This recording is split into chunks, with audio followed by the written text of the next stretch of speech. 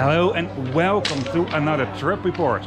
This time, not on a long distance train, not on an international train, it's quite difficult in Taiwan, but on a really scenic train ride on the Pingxi line. Not that far away from uh, Taipei, the capital of Taiwan. Um, right now I'm in Shifen, the train will go right through the town here. There are well, lots of vendors were more or less on the tracks here. tell you all about this in the video. This used to be a line that was mainly used for coal transport, but the coal mines are closed and now it's a really popular touristic destination and it's really pretty. I'll tell you all about it in this video. For now, I hope you like this video. If you do so, give me a thumbs up or if you think it's a helpful video to you. And if you want to see more train related videos, mainly about long distance train and sometimes ferry traveling to show you what it's like to travel on a more sustainable way of transportation, hit the subscribe button. But for now, let's roll the intro.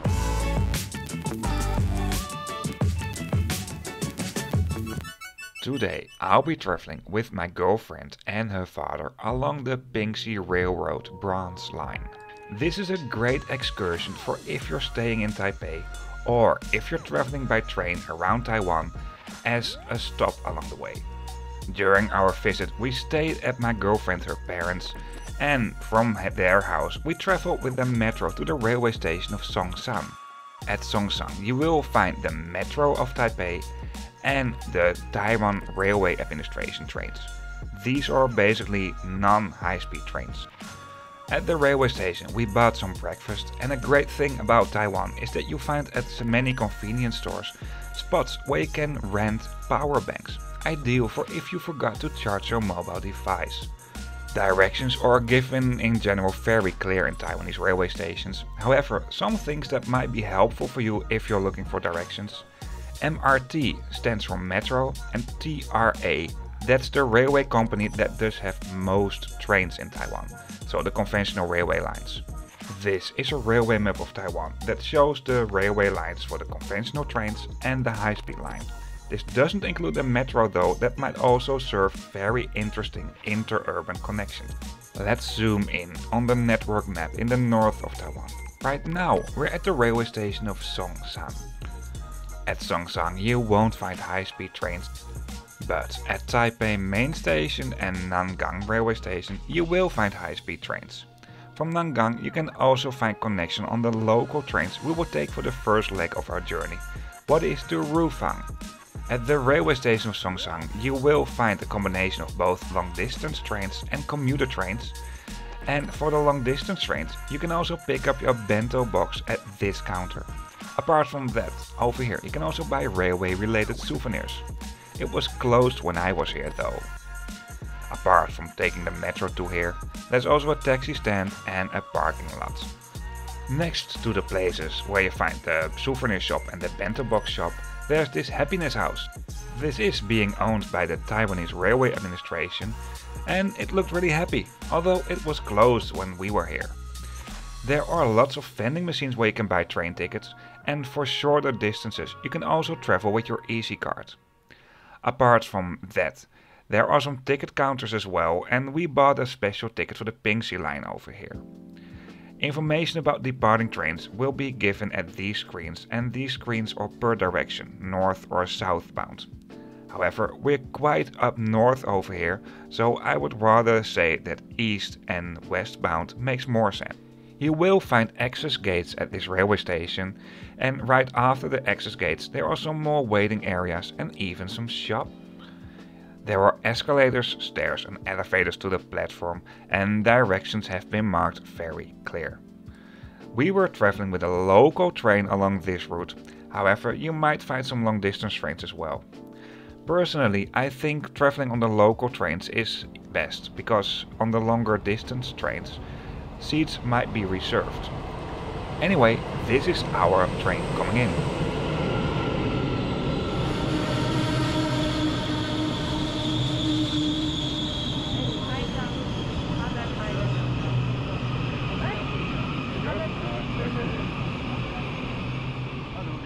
You will find different kinds of trains on this route.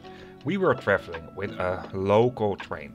This is also being mentioned as Fuxing or shuttle train, even though Fuxing might be a little bit confusing because in China this is the name for some high-speed trains. These trains in China, or as some people like to call it, mainland China, I covered them back in 2019 when I did my journey along the Silk Road from the Netherlands to China by train.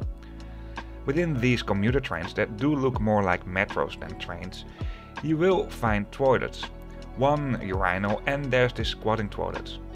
Personally, I prefer squatting toilets in general, but on trains, I don't know, because it's a bit harder to keep balance if the train is moving. Overhead luggage racks are located all over the train, and screens at the ceiling and right above the entrance doors do host information about the route. All information that's given is given in Mandarin but also in English, and announcements are being made automatically in Mandarin, English and in two Hakka languages, what are local languages of Taiwan. For the first section we traveled with the EasyCard, what is a smart card for public transport in Taiwan. You can also use this as a payment card in many shops and especially in convenience shops. It's a bit comparable with the Pasmo in Tokyo and T-Money in South Korea. For these Fuxing or shuttle trains, you can also travel with these cards. For express trains, the rules are a little bit different per route and train type, so I'm not gonna explain all of this.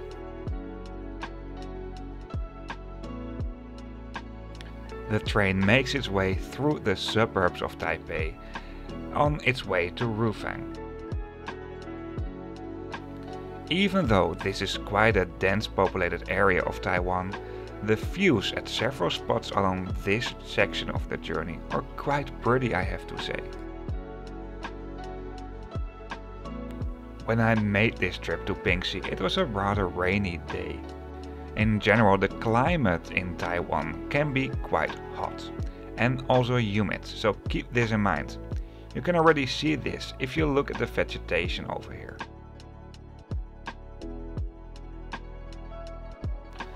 The train will follow the Keelung River, so you will see this from several points of view along the journey.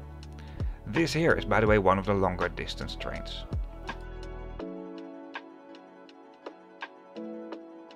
After about 30 minutes, the train arrives at the railway station of Ruifang.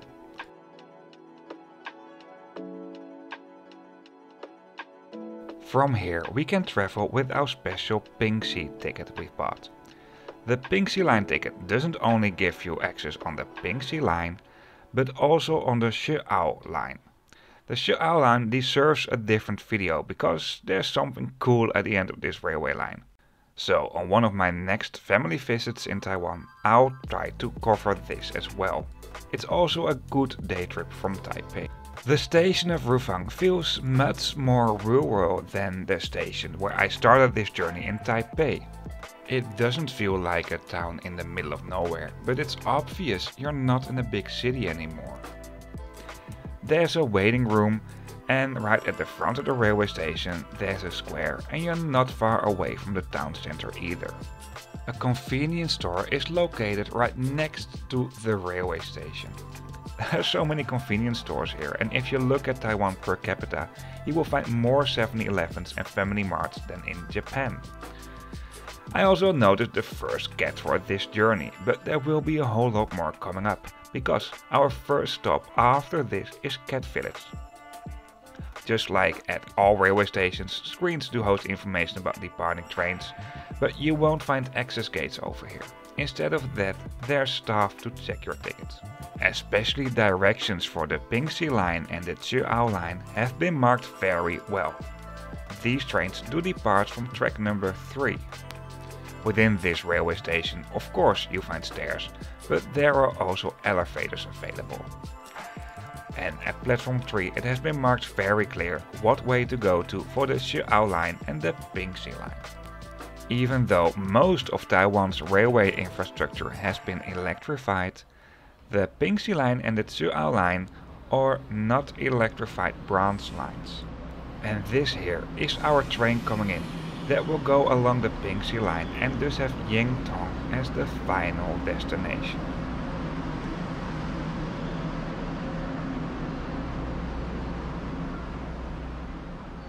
These are really simple diesel powered commuter trains and the layout is also just like in many metro trains. There are overhead luggage racks and there's also a toilet available because it's still a train after all. One thing I like most about these trains is that you can have a look with the driver.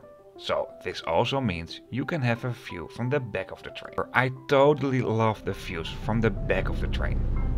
And like I said already when I recorded this video, is complete without doing a toilet review. no train tour is complete without doing a toilet review. And we have the squatting toilet again. These are diesel multiple units that can be combined, so you can basically walk from one train set into the other one.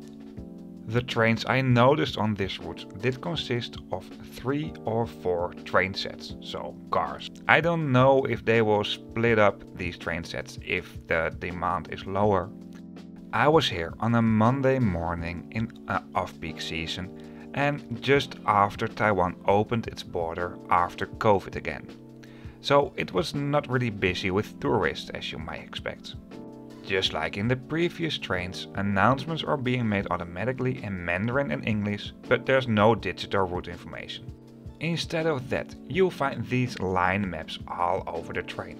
For now, we start with the first section of our trip to the Pingxi line, what is still on the main line to the railway station of Houtong.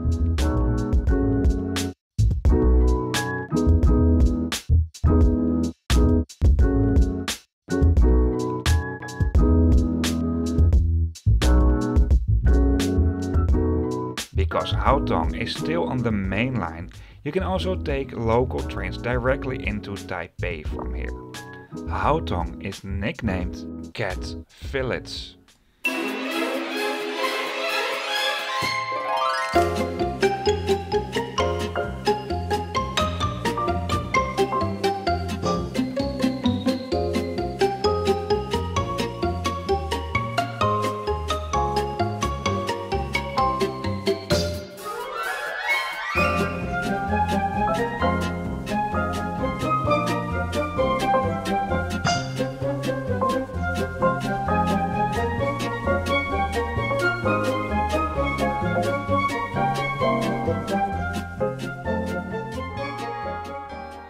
Originally Houtong is a mining village and from the 1990s it has been in decline. However, from 2008 a local cat lover organized volunteers to start offering abandoned cats a better life. They posted the cats' pictures online, resulting in an overwhelming response from cat lovers all over the nation.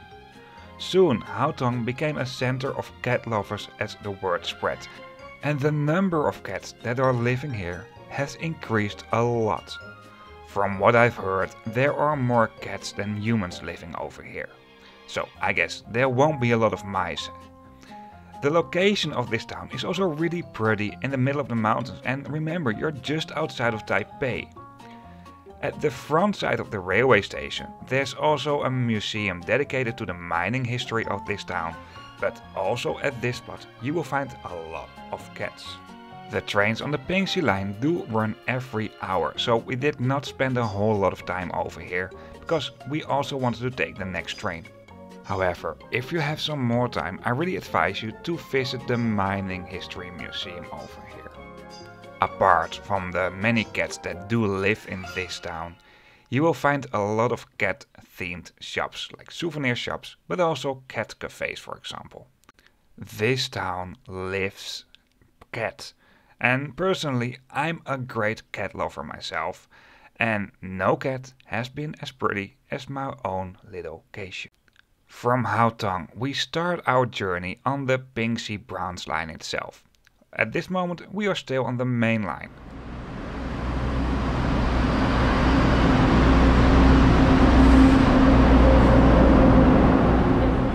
For the next tiny bit of this video, I'll show you some views from the train between Houtong and Shifen.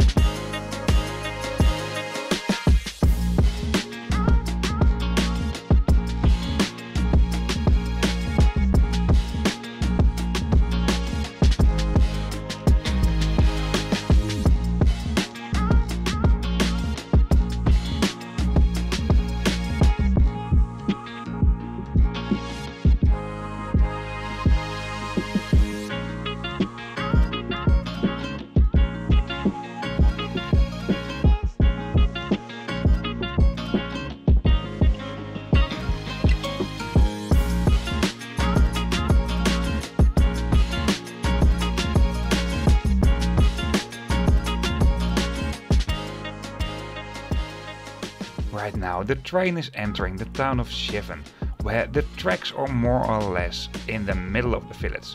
This doesn't count for this town only by the way, but I'll show you in a bit.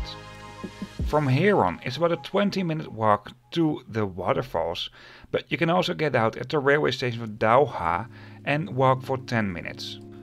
To put it in perspective, this is where you find the railway station of Dahua, this is where you find the waterfalls, and this is the railway station of Shifen. The Pingxi Branch line is a single track railway line. However, at some parts the trains just need to pass each other, and that's happening at the railway station of Shifen. Therefore, trains do stop relatively long at this station. As you can see, the station itself it's not very big. Right next to the station you will find a hanging bridge that will go to another part of the village. I guess this is less popular for tourists and therefore we were also a bit curious about going here. Within the other part of the village, at the other side of the hanging bridge, you will find a bus stop because, well, having a bus stop at this tiny spot near the railway station is rather difficult.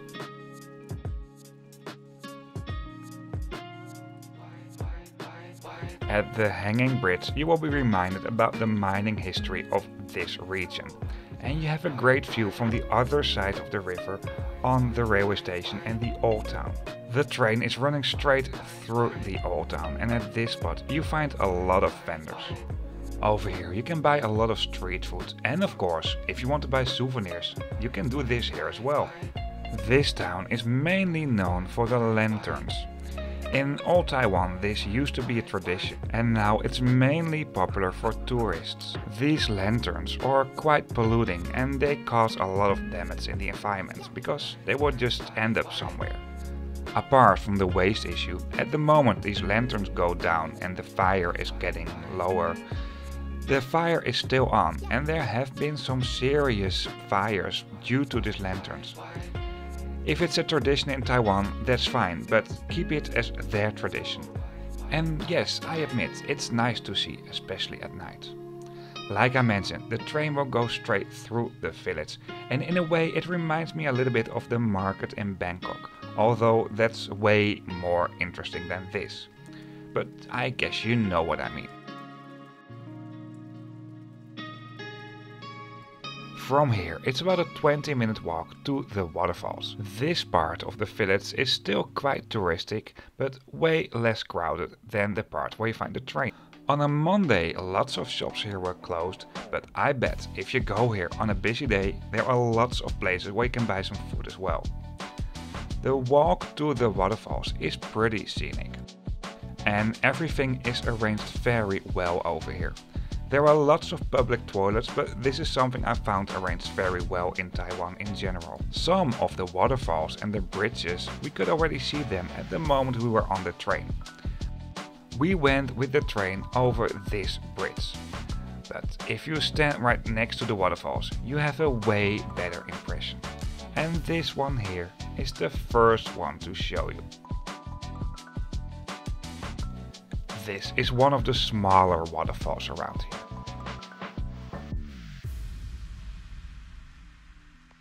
As you can see from the drone shots, this is a hilly place. And Taiwan is a very rough country in general. You find lots of mountains.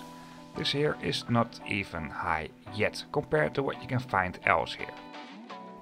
And the train that will just make its way through these mountains.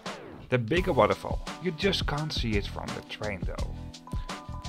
However, this is definitely a scenic train ride, like I already showed you and I'll continue showing you. Because we will go back to Shifen and continue our journey along the Pingxi line.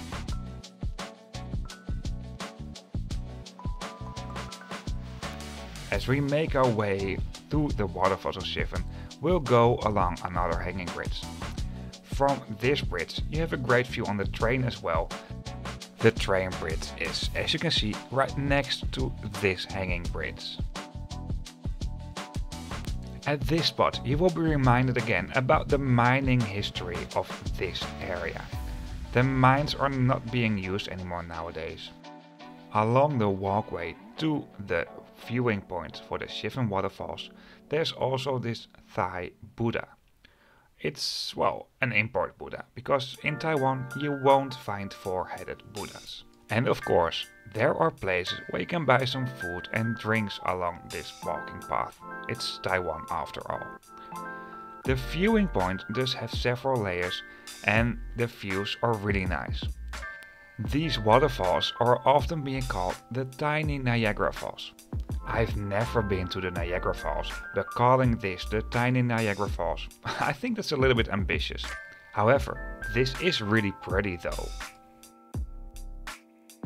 Anyway, time to head back to the railway station of Shifen and continue our journey along the Pingxi line.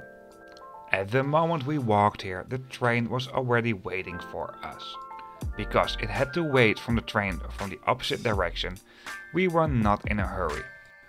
From Shifen, we took the train to Pingxi, the town after this line has been named. For the next tiny bit of this video, I'll show you some views from the train between Shifen and Pingxi.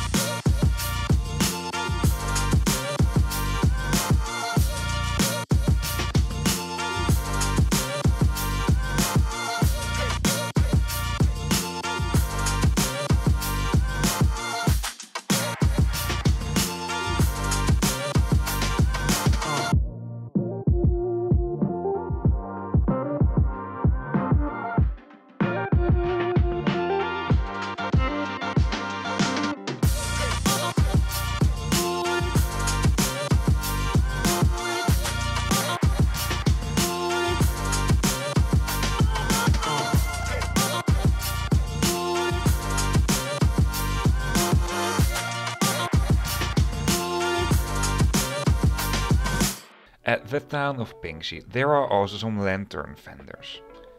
In a way it feels a little bit like the town of Shifen because the shops are right next to the tracks and the tracks are part of the street. Although it's not as big as Shifen. If you follow the railroad tracks and you go down over here, you end up in the town of Pingxi. And this place is really nice and cute. There are lots of shops where you can buy some food and drink over here. And if you walk a little bit out of the town, you have some great views. I really like this place. We did not spend a whole lot of time over here because we needed to go back to Taipei because we had met up with some friends for dinner that same night. I really recommend you to combine a visit along the Pingxi line with a visit to Jiufen later at night. From Rufen you can take a direct bus and this is really easy to plan in Google Maps. Also, if you are a hiker, along the Pingxi line and especially at the end of the line there are great hiking trails as well. Probably I'll go here next time again. Anyway, this is the train that took us back to the main railroad line to Ruifang. We're back at Ruifang station with the squad. I hope you liked this video. If you did so, give me a thumbs up. And like I said in the introduction, if you want to hit see more, hit the subscribe button. You know where it is, somewhere at the bottom. And see you on my next video. At last, if you're interested in other trip reports, of course you can find them on this channel. However, in the description of this video on YouTube you find a link to a map and on this map you can find all trip reports I've made. It might be easier if you're looking for specific videos. This channel is mainly focusing on long distance and international train and ferry traveling to show you what it's like to travel on a more sustainable way of transportation. Once again, thank you for watching and see you on my next video.